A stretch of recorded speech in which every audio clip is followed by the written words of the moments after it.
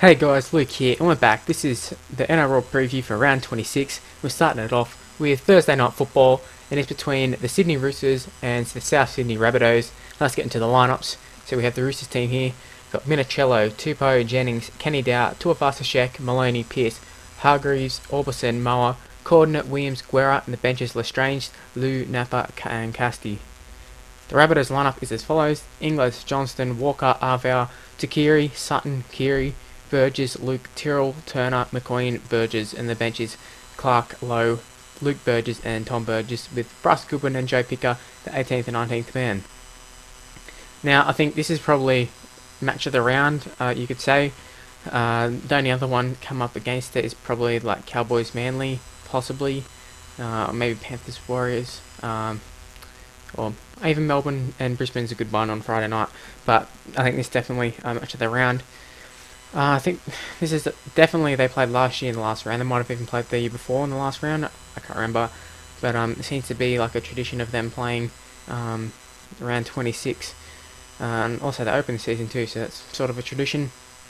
I guess it's kind of cool. But getting to like key matchups, obviously we've got the halves. It's as with most games, the halves are um, the main one. So Maloney and Pearce, pretty good halves combination. Um, they weren't the well, I guess they kind of in the New South Wales teams just because Pearce, but um, you know they're pretty good halves. They won the premiership last year, so credit to them. Then you got uh, pretty unproven uh, halves pairing of Keary and Sutton. I don't think they've played together.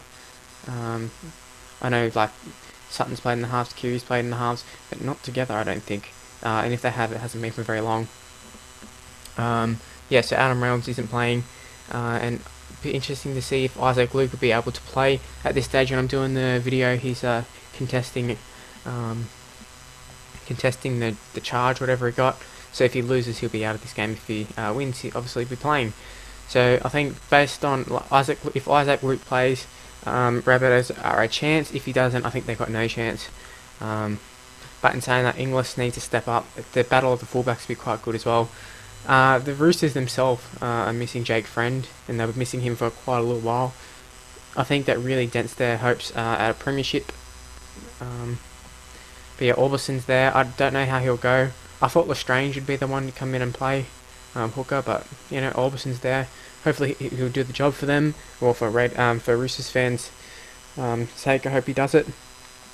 But the big the big one is the four pack. Two pretty good four packs. Um, the George and um, Sam, the main Burgess guys, up against like Sonny Bill and Guerra and Cordner. Like the Roosters have one of the best four packs in the comp, so uh, yeah, it should be a good battle.